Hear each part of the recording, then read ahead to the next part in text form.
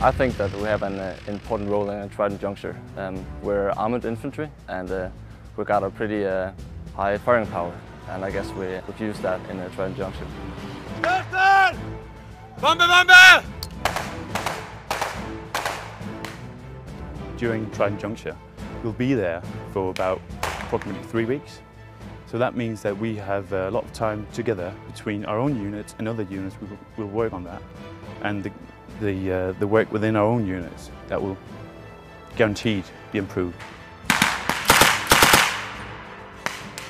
For my unit, we can work a lot on our skills down there because it's very uh, restricted time we're there and we've got no, nothing else to interfere with us so we can really work hard on our procedures down there.